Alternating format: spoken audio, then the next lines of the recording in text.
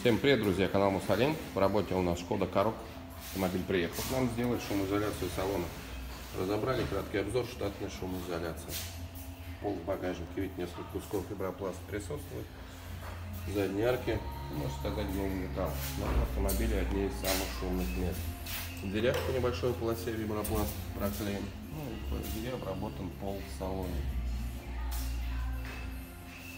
Крыша голый металл. Владельцы не устраивает данная шумоизоляция, готовим поверхности, приступаем исправлять. Так, друзья, закончили клеить вибропласт нам Шкода Корок. Проклеен у нас пол в багажнике, проклеены задние арки. Тщательно прокатываем валик. Проклеен пол в салоне. Проклеена крыша. Двери обработаны первым слоем вибропласта толщина 3 мм. Приступили наносить второй слой.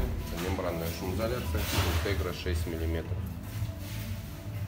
Продолжаем нашу работу. Так, друзья, закончили клеить шумоизоляцию на Шкода Корок. Проклеен у нас пол в багажнике. Используем мембранную шумоизоляцию Raptor 4 мм. Мембранная шумоизоляция у нас нанесена на задние арки и пол в салоне. Используем блокшот 7 мм обработана крыша. И по дверям нанесли третий слой вибропласт толщиной 2 мм. Четвертый заключительный слой мы наносим на дверные обшивки. Это у нас обладитель эксперт 15 мм. Автомобиль готов, собираем, проверяем. Ставьте свои комментарии, подписывайтесь на канал. Всем пока.